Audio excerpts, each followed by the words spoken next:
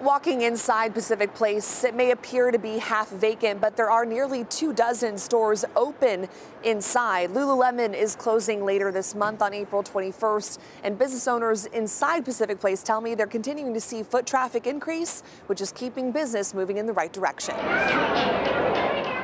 The line stretched around the block to be the first one inside to see Seattle's newest addition. When Pacific Place opened in 1998, it was packed. It's phenomenal.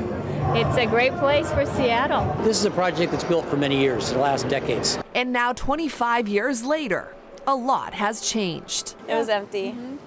Uh, quiet too. I don't know. I think of mall. I, I, don't know. I'm a '90s baby, so I think of a mall, and I'm just imagining people everywhere, lots of activity, and it didn't it, it doesn't look like that. It was just quiet. That's what we thought we were in the wrong place. Alejandra and Diana are visiting Seattle from Chicago. They weren't surprised to hear Lululemon is closing. It's not surprising because I feel like so many more people are shopping online. Across the country, experts have seen many urban shopping centers struggle, and most say the common factor is closing stores and less foot traffic. Owners of Proto 101 and the Handmade Showroom, another store in the mall, say their businesses are growing. The Downtown Business Association also has a positive perspective. In a statement to King 5, many of the revitalization metrics we're tracking are headed in the right direction, including returning visitors, workers, and what is now a record downtown residential population. And the Seattle Office of Economic Development says it's seeing the same trends.